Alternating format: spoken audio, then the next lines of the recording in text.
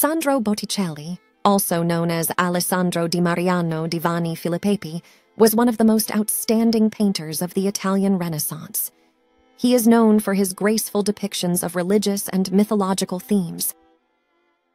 He was born in Florence in 1445 and received his training in the workshop of the Florentine painter Fra Filippo Lippi. Botticelli was unmarried and had no children. It is assumed that Botticelli was no longer able to paint from 1500 onwards due to a disability and became very impoverished.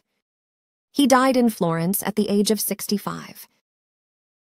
In his early years, Botticelli mainly painted portraits of the Medici and party supporters. Later works are more expressive and contain elements of the Gothic style. These paintings depict figures from Greek mythology and allegories, often making reference to the present day. Botticelli's painting style is characterized by a pronounced clarity and attention to detail, which is further enhanced by the use of bright, vibrant colors and fine lines.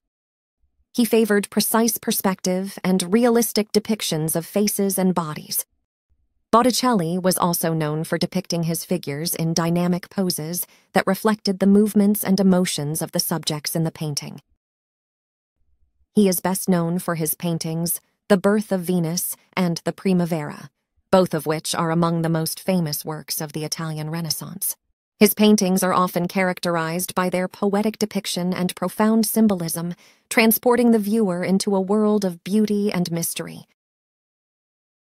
It is estimated that Botticelli created more than 100 paintings, frescoes, and drawings during his lifetime. His works remain timeless masterpieces that embody the beauty and fascination of Renaissance art.